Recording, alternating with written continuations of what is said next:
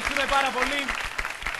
Είμαστε εδώ πέρα πάλι στη γωνία τη- του WhatsApp, στη γωνία της ατάκας. Ο διαγωνισμός Stand Up by WhatsApp συνεχίζεται. Την περασμένη εβδομάδα σας ζητήσαμε να μπείτε στο www.megatv.com κάθετος κάψτε το σενάριο και να συμπληρώσετε την ατάκα που ήταν. Ξέρεις ότι ήρθε η ώρα να χωρίσεις όταν.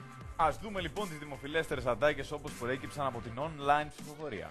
Ξέρεις ότι πρέπει να χωρίσεις όταν το μουστάκι της γίνει μεγαλύτερο από το αγάθωνα. Ξέρεις ότι ήρθε η ώρα να χωρίσεις όταν δεν σε ανάβει ούτε με αναπτήρα.